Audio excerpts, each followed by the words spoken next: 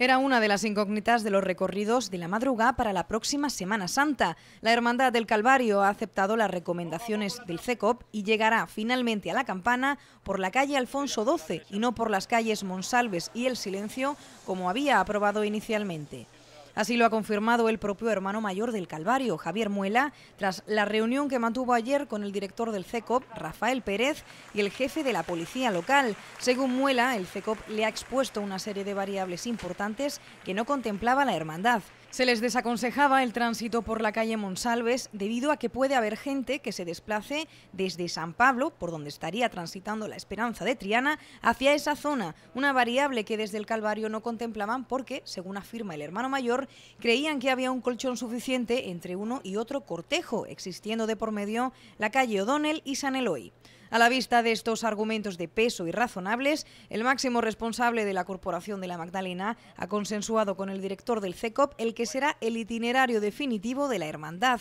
De esta forma saldrá de su templo a las tres y media de la madrugada, diez minutos antes de lo habitual. Lo hará por la puerta del coro de la Magdalena y alcanzará la carrera oficial por la calle Cristo del Calvario hacia Canalejas, Gravina, Pedro del Toro, Miguel de Carvajal, transitará por la plaza del museo por la acera contraria a la Pinacoteca y finalmente tomará Alfonso XII para acceder a la campana.